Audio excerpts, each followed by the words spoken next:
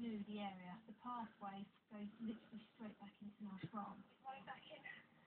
Marsh Farm somewhere. It's going to be in the trees. I don't know what you've done, Jack. Luckily for Sam and Shona, help is close at hand.